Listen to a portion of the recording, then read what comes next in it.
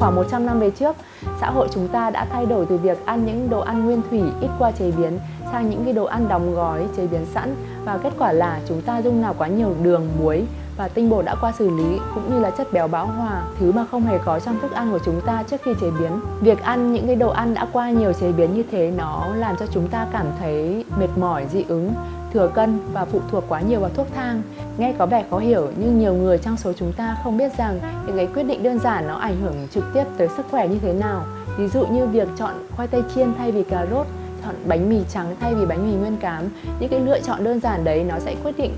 đến cuộc sống và thậm chí là tương lai của chúng ta. Việc chúng ta liên tục tiêu thụ một lượng lớn muối, đường, chất béo bão hòa cũng như các phụ gia thực phẩm khác như là chất điều vị, chất tạo màu có sẵn trong là đồ ăn đóng gói, đồ ăn đã qua chế biến làm cơ thể mất cân bằng, không nạp đủ lượng vitamin và khoáng chất cần thiết cho cơ thể. Đây chính là nguyên nhân gây ra các bệnh ung thư.